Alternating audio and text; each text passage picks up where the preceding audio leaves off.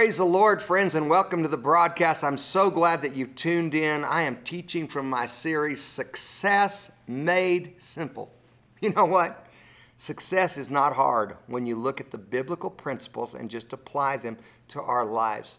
And I think if we do one thing in the body of Christ, we tend to overcomplicate the things of God. And so I'm teaching this. This is working in my life. It's working in my wife's life. It's working in my children, all of my son's life their families, and you know what? It will work for you, just like it works for us. God is no respecter of persons. God is a respecter of faith. And so we began this week in Joshua chapter 1. In Joshua chapter 1, Moses had just died. Joshua had been serving him for over 40 years. And God spoke to Joshua and said, Listen, Moses, my servant, is dead, but I've called you to lead the children of Israel into the promised land.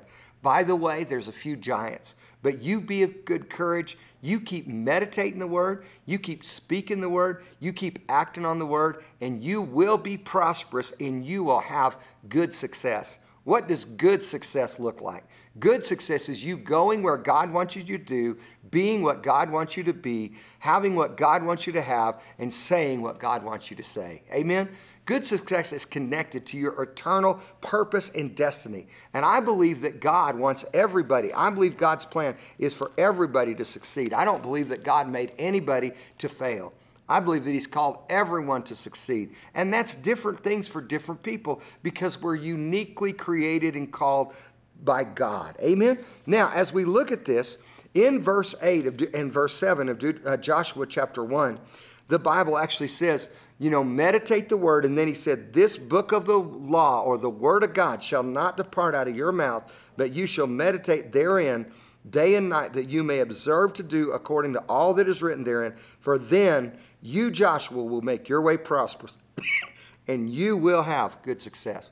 The way for us to be prosperous, the way for us to have good success, is the same way that Joshua prospered and had good success. We kept meditating the word, we keep speaking the word, and we keep acting on the word of God. The word of God works, and the word of God will work for you.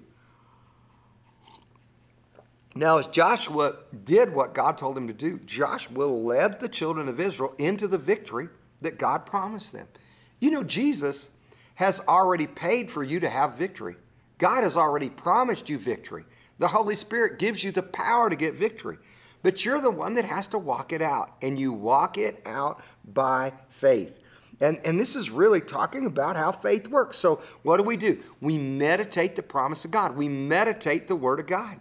And we talked about what that means. It means to, to let the Word of God change the way do you think to, to, to where you begin to dream about it, you begin to ponder, you begin to imagine what it would look like to see these promises of healing, of prosperity, of peace, of freedom, of righteousness come to pass in your life. Who, who would you minister to when you walk in the freedom that God's given you? Who are you going to bless when God blesses you? You know, whose, whose car are you going to pay off? Whose house are you going to pay off? Who, you know, and I've helped people with those things. Amen? I've blessed people with those kind of things. God's helped us. God's helped us over and over again. And you know what? Just like God helps me, God will help you. And so we need to keep believing and keep speaking the Word of God. We need to meditate the Word of God. We need to speak the Word. We need to act on the Word of God. You see this word for meditate. It's the Hebrew word. In, in you can read about it here in Joshua chapter 1, verse 8, in uh, Psalm chapter 1, verse 1 through verse 3. This word meditate means to utter, to mutter, to growl. It just gets in you.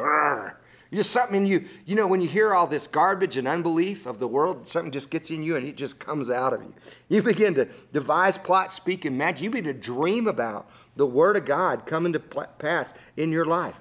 You see, our, our words precede, or, or our thoughts precede our words, and our words precede our actions. The Bible says this in Psalm 19 14 Let the meditation of my heart and the uh, uh, the words of my mouth be acceptable in your sight, O Lord. You see, Proverbs 16 23 says, The heart of the wise teaches his mouth and adds learning to his lips. What are we saying? And then finally, our words affect our destiny. We need to determine to speak words of life and blessing. Words convey faith and lead us into the blessing. So we need to become a doer of the word. Faith without works is dead. But we've got to have co- corresponding action to have effective faith. So if we have faith, what are we doing?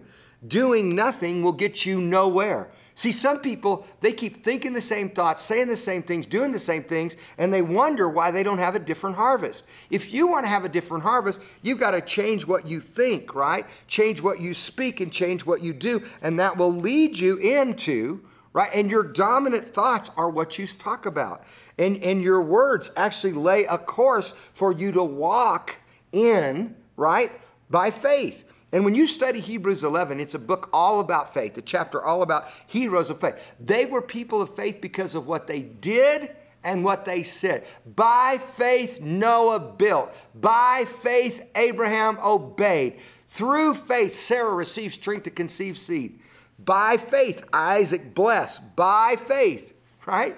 Jacob blessed. By faith, Joseph gave commandment concerning his bones. By faith, Moses chose.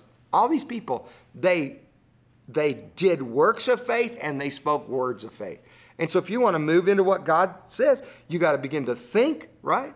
What the word says. You begin to believe it, you begin to speak it, you meditate on it, and as you believe it and speak it, then you begin to walk it out. And as you walk it out, you begin to see. If you don't change what you do, you're going to have the same result. The definition of insanity is doing the same thing and expecting different results.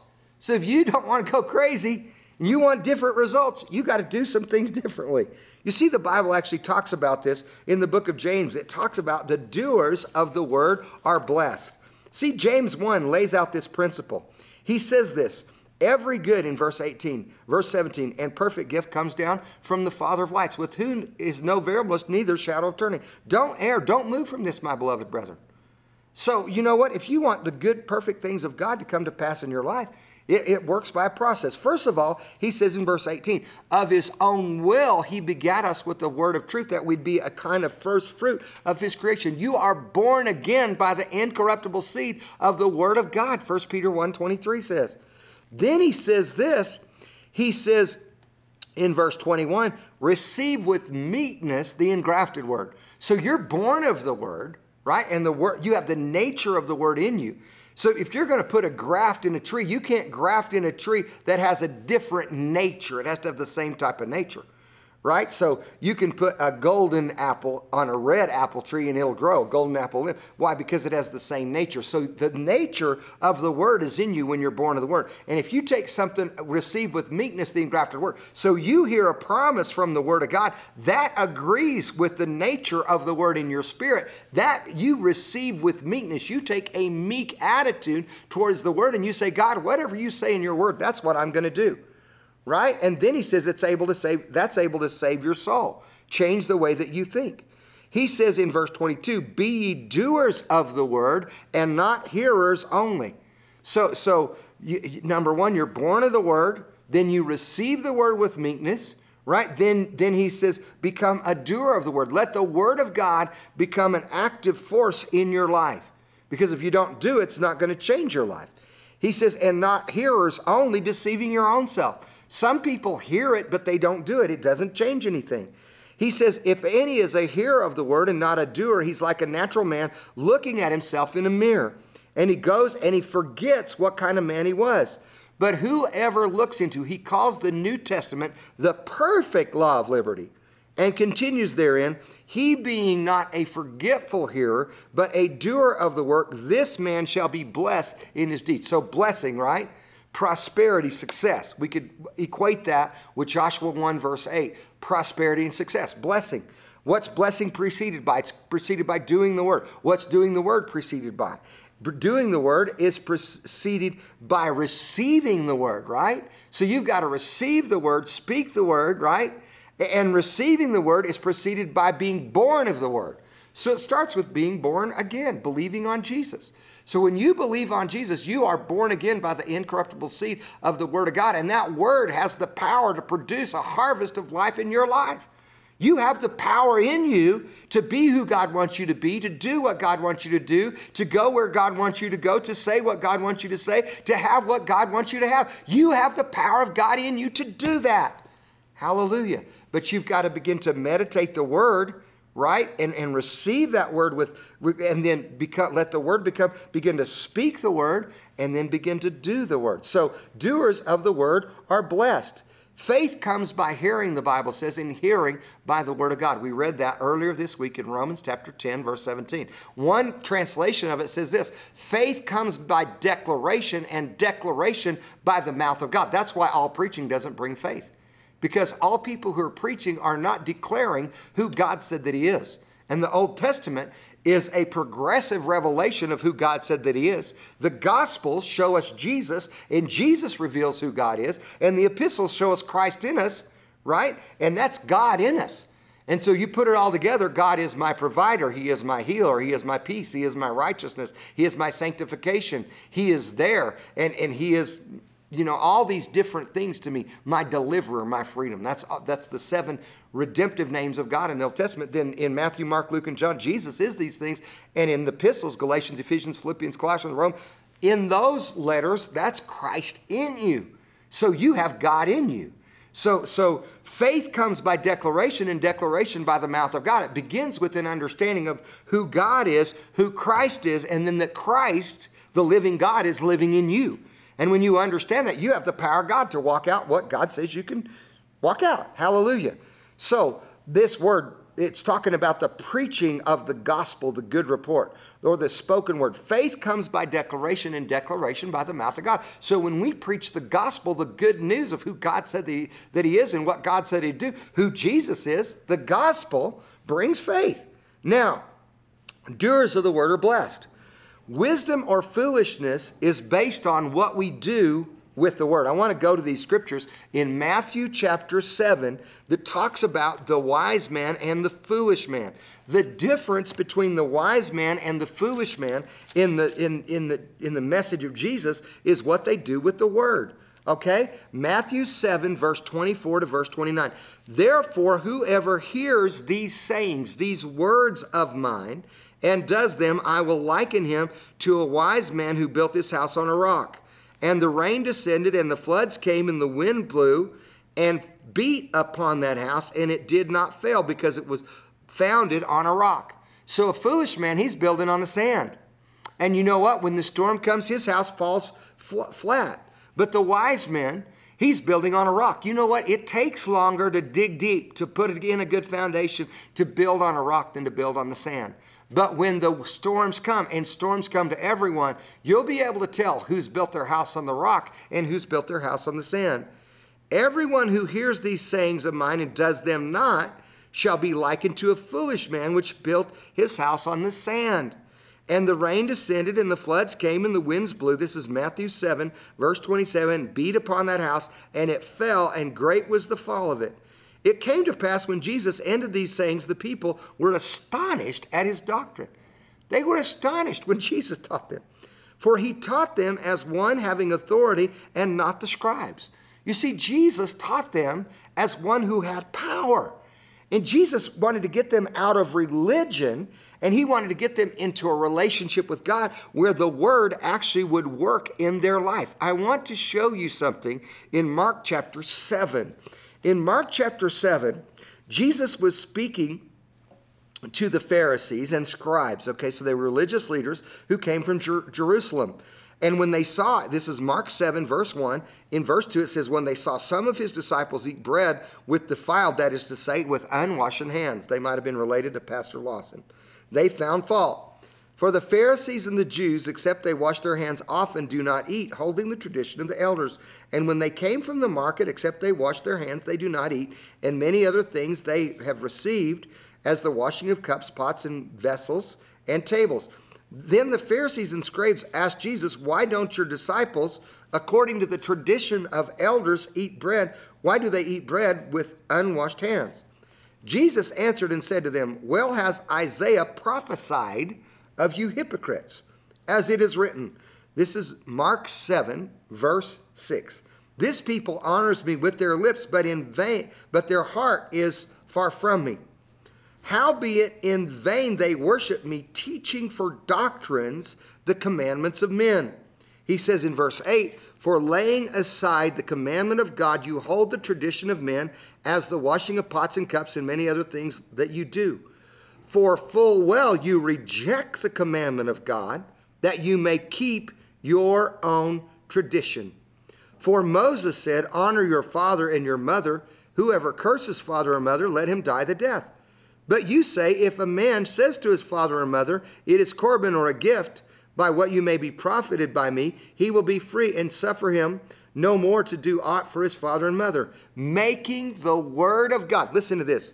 Mark 7, verse 13. Making the word of God of no effect through your tradition, which you have delivered, and many such things like this you do. So Jesus said that we make the word of God of no effect through our tradition. So if we're going to have the word of God work in our life, we've got to believe the word, receive the word, speak the word, and act on the word. And guess what? When you believe the word, when you receive the word, when you meditate the word, when you speak the word, and when you act on the word, the word will work in your life because the word will never lose its power. Jesus said, Heaven and earth will pass away, but my words shall endure forever. The Word of God is going to endure forever. So you, the Word of God has power, and the Word of God specifically has power in your mouth. So you keep meditating the Word, believe in the Word, right? Keep speaking the Word, keep acting on the Word. And guess what? The Word will produce a harvest in your life. Just like James chapter 1 where you're born of the word, you receive with meekness the engrafted word, you become a doer of the word, and you will be blessed in your deeds. You'll be blessed in your actions. It's a process. Praise God. And this is the last part it's acting on the word of God. So, Jesus talked about this. And in Mark chapter 4, he talked about this in Mark chapter 4, in Matthew chapter 13, and Luke chapter 8, the parable of the sower. And basically, Jesus said everything in the kingdom works on the parable of the sower. And the sower sows what? The word. Let's look at it. In Mark chapter 4, Jesus is talking about this.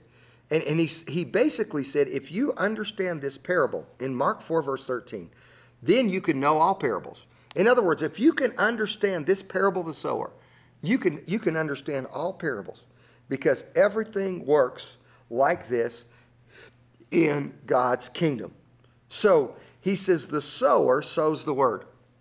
And these are those that are sowed by the wayside. He told a parable before this. So the farmer's going to his field, and some grain falls out of his planter, his drill, we call that, right, on the way to the field, on the road. And before it ever gets in the ground, the birds come and eat it. You know, Satan is the enemy of the word. And Jesus said, Satan comes immediately and takes away the word that was sown in their hearts. Satan wants to steal the word because he knows the power of the word in your life.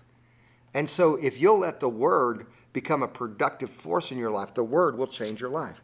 Now, he says in verse 16, These are they who are sown on stony ground, right? The rocky soil. When they have heard the word, immediately they receive it with gladness.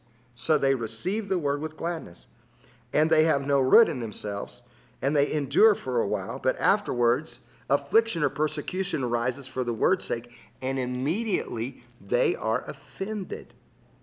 Okay, so first soil is the wayside soil. So the farmer's on the way to the field, and some seed falls out of his planter, and the birds eat it before it ever gets to the ground because the road's hard. Then he gets in the field, and, and there's an area of the field where the ground's stony. It's kind of like the western side of Colorado Springs. A lot of the ground is just ground up granite. And the seed is planted and it grows up and it has nice flowers, right? I had this happen when we first moved to Colorado Springs. I'm from southeastern Colorado. We got deep, rich, good soil. We can grow all kinds of corn, watermelons, beans, you name it, tomato. But I came here and I tried to grow some squash. I mean, summer squash in eastern Colorado grow like weeds. I mean, they're, they're the crookneck yellow squash. I love them. But you get here. Man, I came here, I can see some. I had a clear space out in my yard in the southwestern part of Colorado Springs. I had a bunch of scrub oak growing. There's a clearing where you park the car. I, I went on the side of that where the sun shine. I dug a little ditch. I took some squash seed. I planted them. I watered them. It grew up vines. They grew this long. They grew great big flowers, yellow flowers. They're beautiful. The squash grew. They were about this long. I mean, not that big around. They were that long. They were about this big around, about a quarter inch. I mean, they were dinky. You couldn't feed nothing with them. Why? Because there's no roots. Those vines could not get roots to grow fruit there. So if you're going to grow fruit, you've got to get rooted and grounded, amen, in the gospel. You got to get rooted and grounded in Jesus. That's what it talks about in Colossians chapter 2. And so he says this, this kind of soil is when the word is sown in our heart, but immediately affliction and persecution comes for the word's sake. Do you know religious people many times will persecute you when you preach the word? They'll persecute you for, for you know, I had some people, they, they God spoke to them, told them to come to our church. They went to their church, their pastor, they said, Pastor, we're going to keep working here another month. We're going to come to early service, we're going to serve, but then we're going to be gone because God told us to go to the other church. They said, What church? They said, Charis Christian Center. Oh, they said that prosperity church. Well, I'm telling you, it's working. We're a prosperous church. We're believing the word. Amen. We're acting on the word, and the word's producing a harvest. They said it in a negative way, but I, hey, I received it as positive. Because you know what? The word is working. That's what I'm preaching here. Joshua chapter 1, verse 8. This book of the law shall not depart out of your mouth, but you shall meditate therein both day and night, that you may observe to do according to all that's written therein. For then you will make your way prosperous, and you shall have good success. That's God's word on the subject. Amen?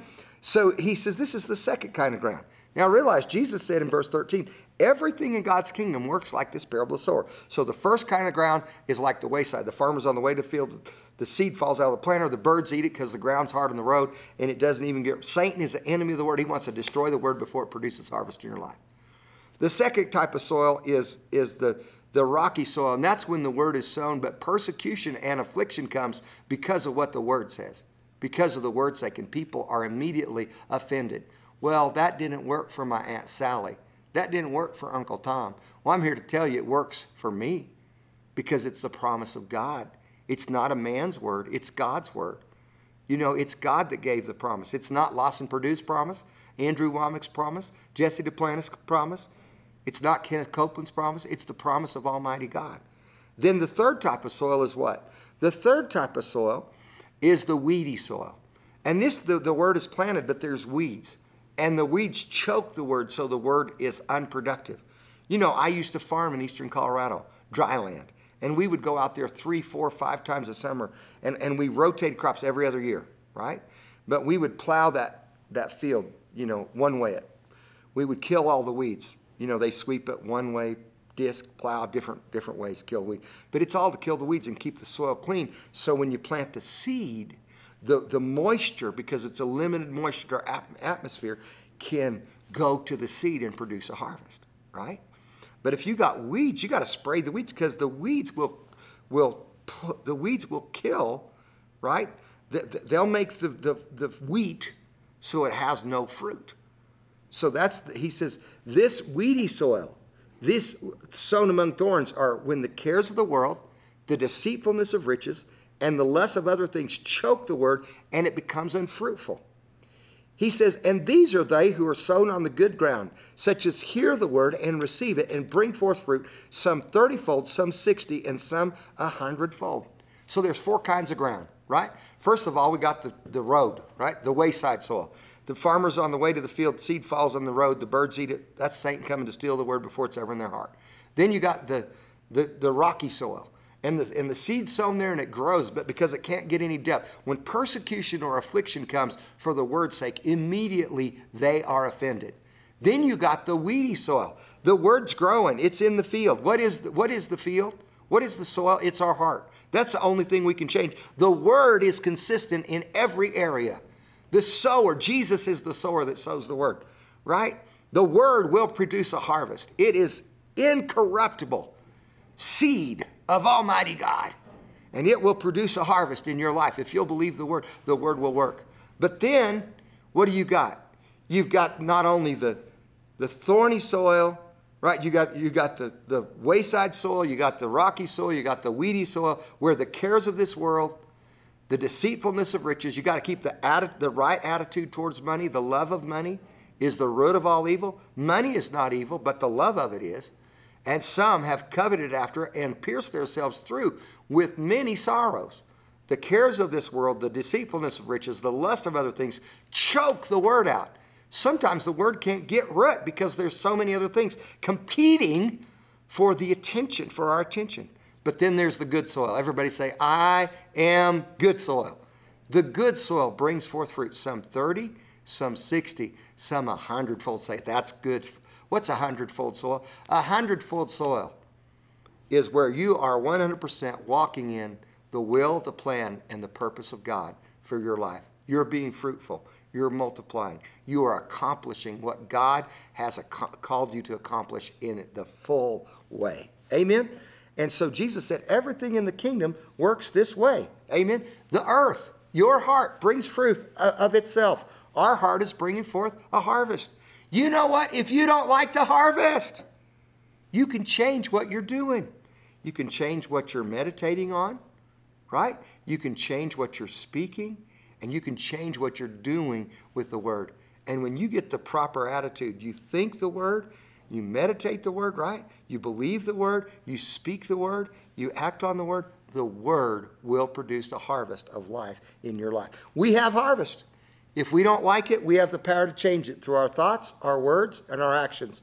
And God has a destiny for us. It's up to us to walk it out. Friends, I'm teaching from my series, Success Made Simple. And I have a free CD, a mini teaching of this that you can get. I also have a confession card that we'll send you out free of charge, and it will help you walk out these promises of God. Thanks for tuning in. If you need prayer, you want a partner, or you want product, give us a call today. Thanks so much. God bless you.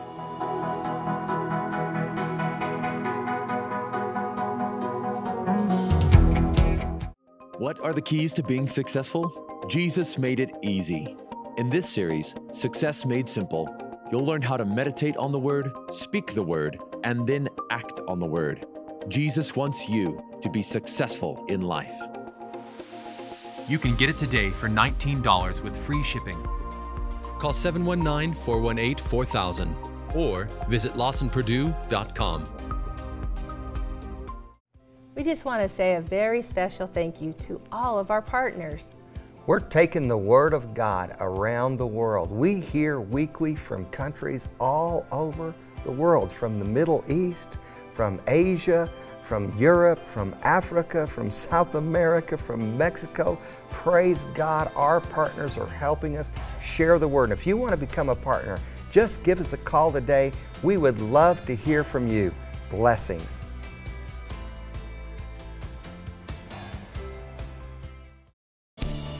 Thanks for watching Grace for Today.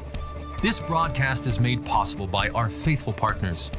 If you would like to become a partner, need prayer, or have a question, please call us at 719 418 4000 or go to lawsonperdue.com or write us at P.O. Box 63733, Colorado Springs, Colorado 80962. See you next time on Grace for Today.